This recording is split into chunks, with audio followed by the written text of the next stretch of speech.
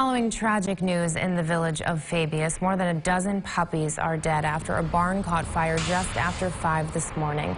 News Channel 9's Ashley Cafaro was at the scene and has more on this developing story. Nicole, the fire happened at this barn behind me here on Main Street. And if you take a closer look, you can still see some of the smoke. Now, it took fire crews three hours to put out the fire, and the barn has been deemed a total loss. The homeowner tells me 14 beagle puppies were killed. They were just six weeks old and 13 of them had just been adopted. The homeowner was able to get him and his wife out safely along with their three adult dogs. He tells me he has lived here for more than 30 years and is devastated. However, he is trying to stay positive. We're just, you know, we're all alive, you know.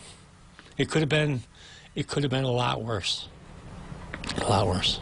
Now, the Fabius Fire Department tells me they still do not know the cause of the fire. It's currently being investigated. Make sure to stick with us on air and online as we continue to follow this developing story. In Fabius, Ashley Cafaro, News Channel 9. Ashley, thank you.